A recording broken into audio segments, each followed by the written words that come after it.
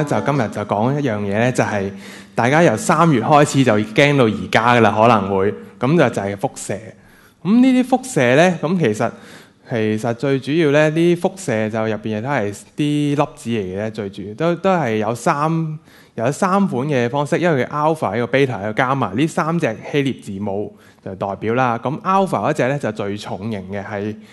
其實係一啲氦原子嘅原子核嚟嘅，咁就即係其實拆翻開就係兩粒質子、兩粒中子咁樣做成東西啦。跟住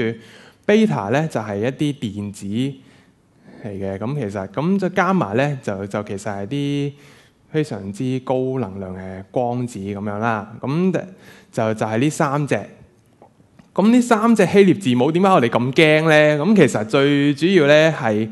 佢呢啲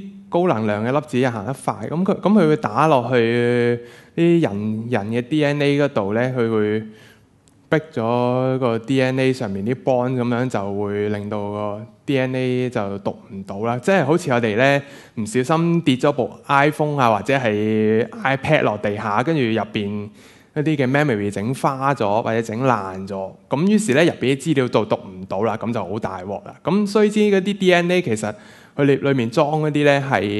啲生物嘅藍圖啦，咁佢入邊即係即係譬如我呢個人體咁樣入邊所有嘅蛋白質嗰啲嘅誒砌法都係喺晒呢啲個即係資訊喺晒 DNA 入邊，於是咧。花咗，例如譬如花咗呢花咗呢一段嘅 DNA 就少咗，就做唔出呢隻蛋白質啦。咁於是咧就譬如話，譬如話，如果係譬如話組成皮到組成皮膚或者組成肌肉嗰種蛋白質做唔出嚟咧，咁就麻煩啦。咁就不過啦，當不過當然啦，佢亦都有時會係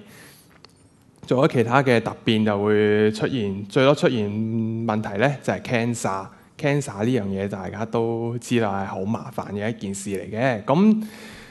咁跟住咧呢啲跟住咧呢啲 radiation 去點樣去擋咧？咁其實 alpha 咧就最簡單，揾張薄薄地嘅紙，可能例如頭先大我哋填嗰啲嘅 form 啦，嗰啲紙咁薄，咁就可以擋得住噶啦。咁如果係 beta 嘅話咧，就可能要揾塊厚啲嘅木板啦。加埋最麻煩就揾原板嚟擋，咁咧跟住我哋點解話食鹽可以抗輻射咧？咁其實咧就唔關啲氯化鈉事嘅，係關佢裡面一隻叫碘事嘅。佢碘因為咧啱啱福島嗰度漏出嚟嘅元素入邊，其中一種放射性元素咧就係碘一三一，即係一百三十一粒質子加中子嘅東西。咁咧